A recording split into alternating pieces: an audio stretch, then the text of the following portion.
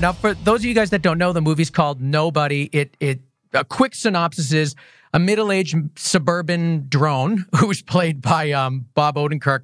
His life is bland. It's the same thing every single day. At the very beginning, we sort of can relate to this humdrum, you know, cycle of life. Everything's the same every day. Um, but he finds his inner badass after a home invasion. And throughout the film, we learn that previous to this, he had a whole different life where he really was this badass.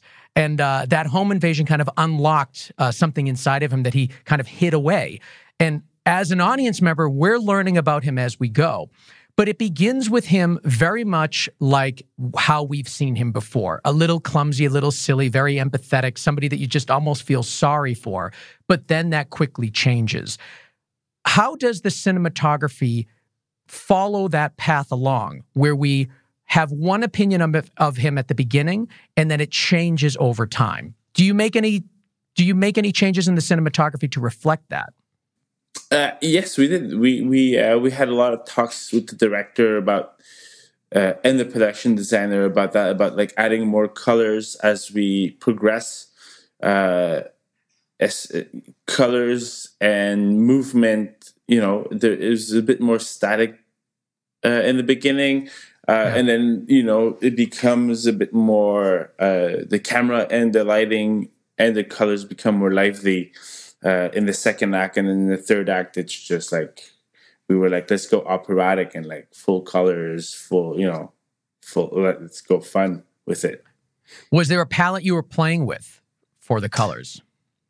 There was a, a palette that was a, a, lot cooler at the beginning, and then we wanted to add more warmth and more uh, more color contrast as the movie progresses. So what do you think that says yeah. about yeah, what does that say about that character in your opinion? I think you know, just like uh calming the cinematography, you know, with the color contrast, less color contrast and less camera movement would just I think also naturally just calm the audience when you're mm-hmm. watching it. You're just more uh your senses your senses aren't as excited because everything is just a bit more calm so you, you're able to you know really feel what the character is going through and then as his journey progresses we excite the senses more the visual senses yeah that and that's a good point it wasn't even something i pick, i was picking up on while I was watching it. But you're right. You do, you are as a viewer kind of lulled into this calm and this sort of relatable lifestyle that he has for some, maybe not all people, but that idea of, you know, kind of going through your day, not necessarily having tons of stimuli, just kind of going through the motions.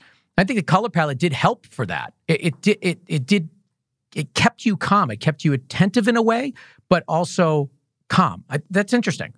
Yeah, it was. Uh, it was a lot of like we also tested that you know uh, the looks and the the the uh, in prep uh, to see how we liked it, and yeah, I think it worked out pretty well.